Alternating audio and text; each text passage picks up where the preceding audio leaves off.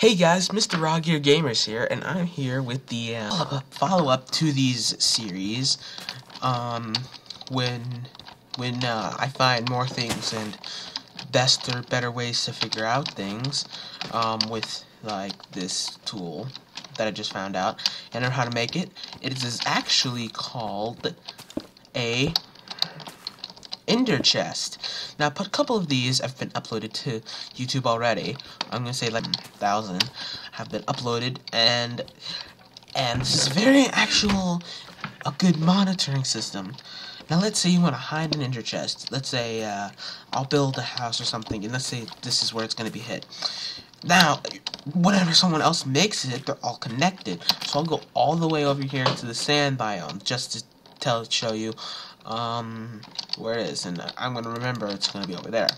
So here's uh okay this um, this is a sand biome but uh wait let me be sure. Uh yeah this is in ice plains. So let's put it here and just another one all the way over there. So when I put something in here let's say someone like you know makes their own be like okay I want to put one here. I'm gonna put someone here. Okay now now they'll go off mining and let's say someone makes it, you know, one, this one that I put down, someone made it and everything, um, they are, they're like, okay, and all of these do it, and so, like, there could be mod, like, admins, only admins could have these, and if the, before, and, and then we could, like, you know, put them just in there, or whatever, they could put them in there just, or in the houses and stuff, just to be sure, line it with bedrock to be, uh, sure that they can monitor any grief, grief man and this is no mods. Like, I'll show you how to build this in a second.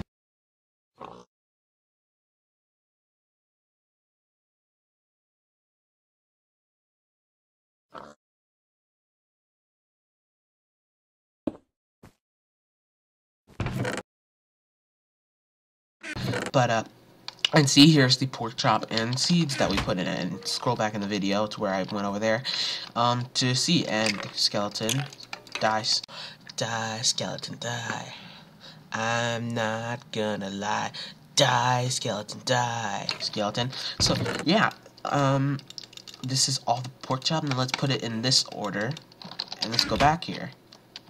Go over here, and then, uh, we come back and see is in this order. And you can totally, totally do this however you like. And it's so awesome. Sorry I'm doing this at nighttime in Minecraft. But uh, I'm gonna, this is a, the short showcase of the best um, griefing tool. And I'm gonna, like, make, like I said, make a follow-up to these series to this uh, episode and uh, if I, when I find any more.